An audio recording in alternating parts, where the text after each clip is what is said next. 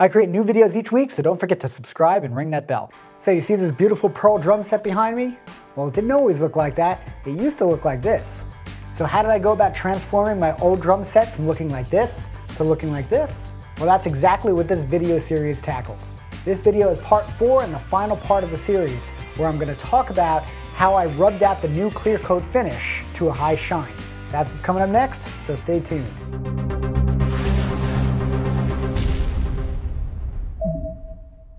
Now, if you found this video first and you missed the other parts, I put some links to parts one, two, and three down in the description below. Okay, so here we are at the final step. And what we're gonna do is polish these drums out.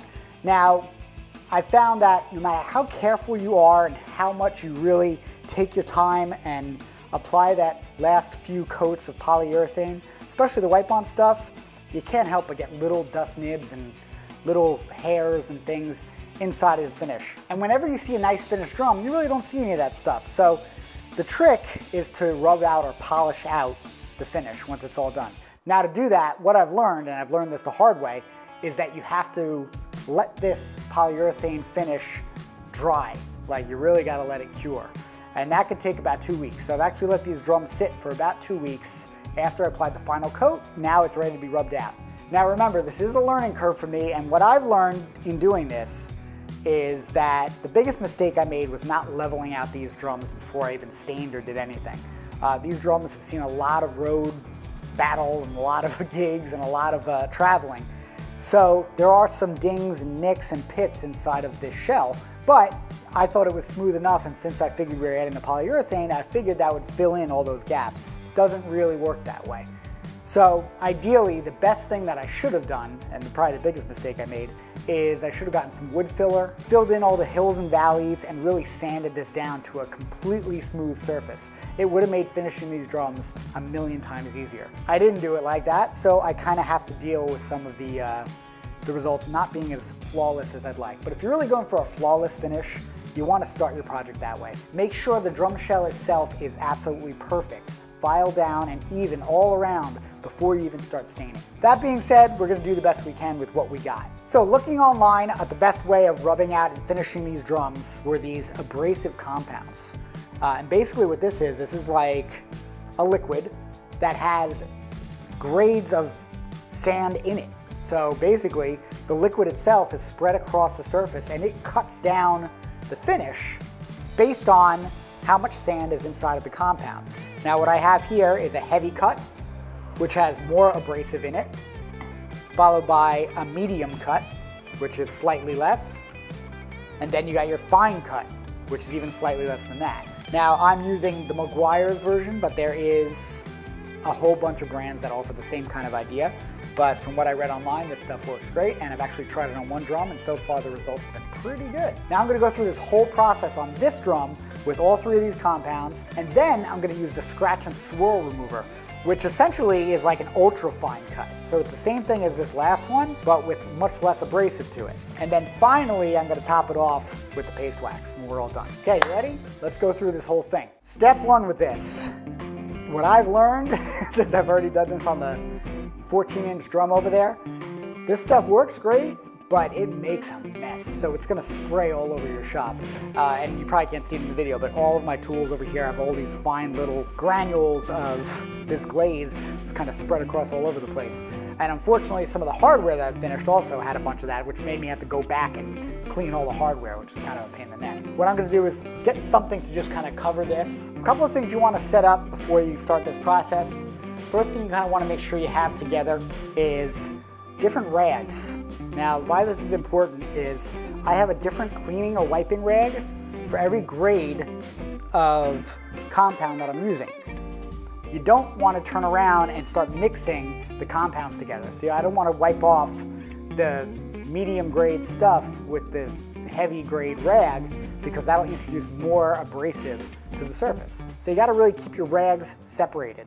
Okay, likewise, to go through this, you want to make sure that you're using something along the lines of this. Once again, this is a hook and loop, which is like Velcro, that fits with the orbital sander, and you want to use a different pad for each compound. So I've labeled each of my pads. This one is the heavy pad for the heavy cut compound, and I'm going to start with that one.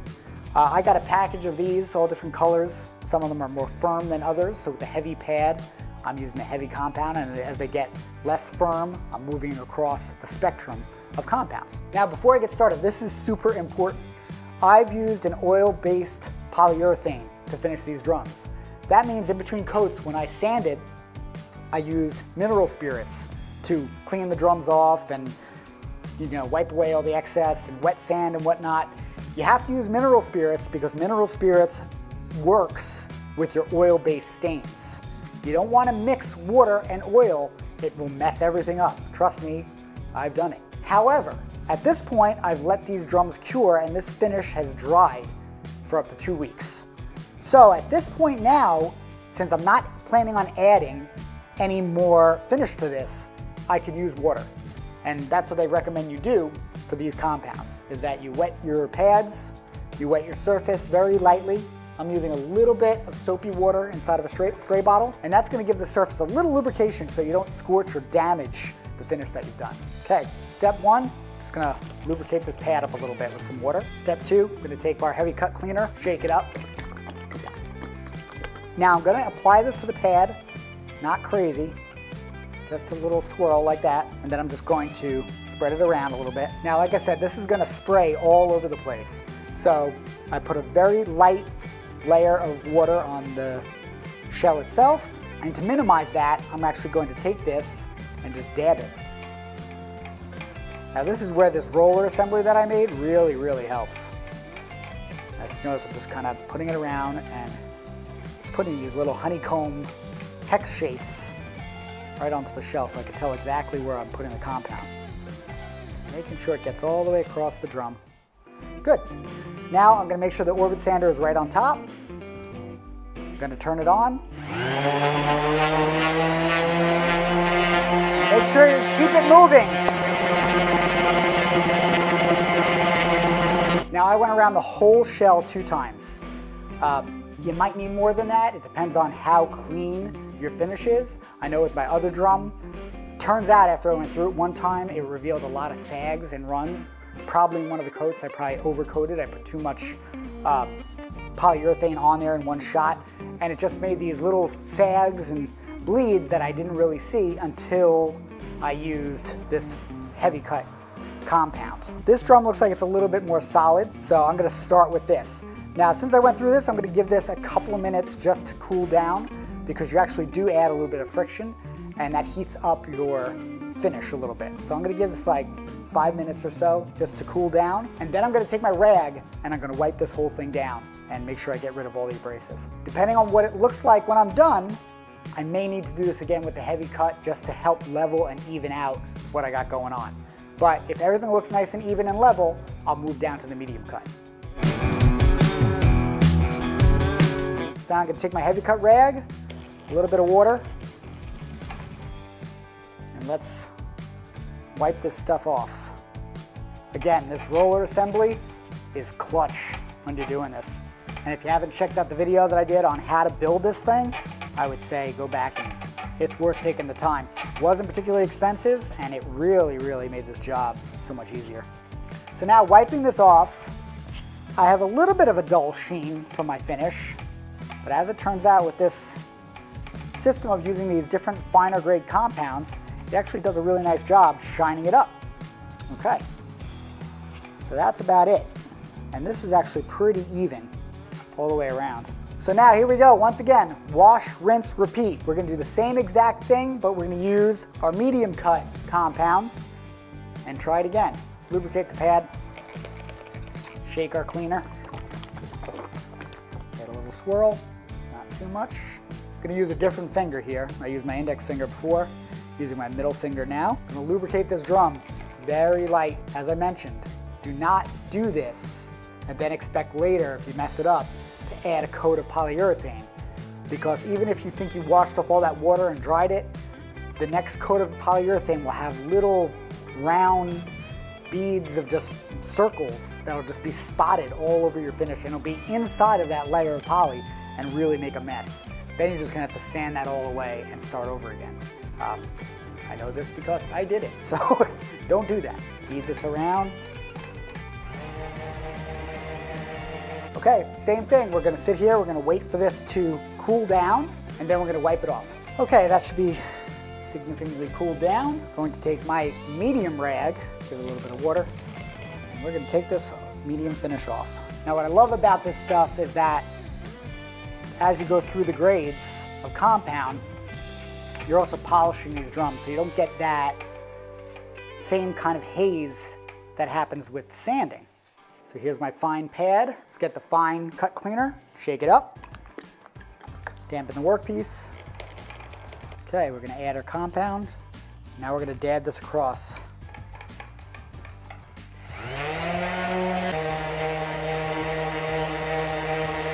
I'm also doing this as much as I can against the grain.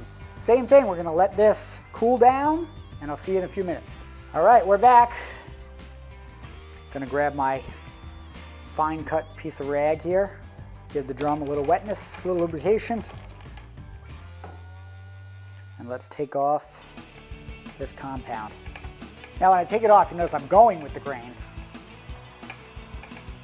Just remember it does have an abrasive in it, so I kind of want to take it off with the grain. Now I don't know if you can see it in the video, but we already have a nice shine going on here. All right, next step, we have our scratch and swirl remover or ultra fine cutting compound. So for that, the ultra fine. Shake it up, a little swirl. Easy to remember, got four fingers, four different compounds. Use a different finger for each compound. Add your dabs, and let's swirl it up.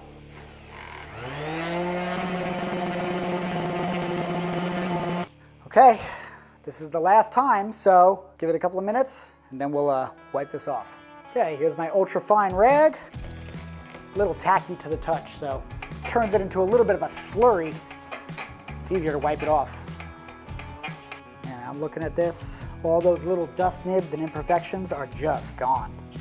They're just wiped away. Any little pieces of hair, anything that's settled into the finish, gone It's smooth as glass. And I can feel it even with the rag.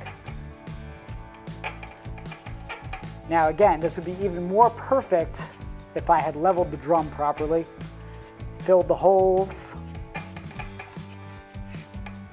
But I did kind of want this drum to look a little bit like it's been beaten up, because it has been. So I didn't want it to be perfect, but that would have made finishing a lot easier. You want to make sure the surface is nice and dry because you don't want to use water when you apply wax. I'm to go and feed my babies, then I'll come back and wax this thing up.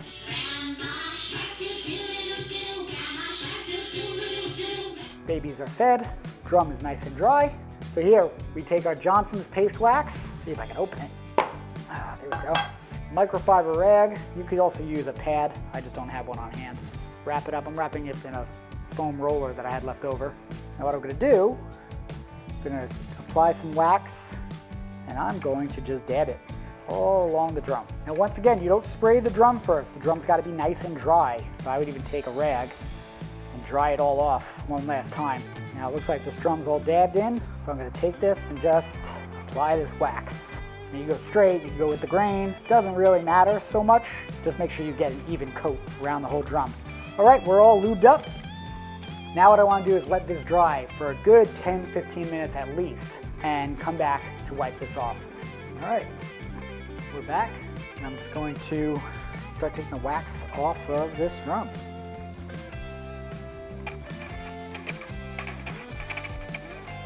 The more you polish this, the better it's going to look. I think we could call this drum finished.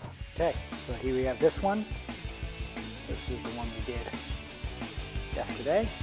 So I'm to go ahead and repeat the same process on the bass drum. Then the final step will be to attach all the hardware. So I'd love to hear your thoughts. Do you think I did this right? You think I could have done things better?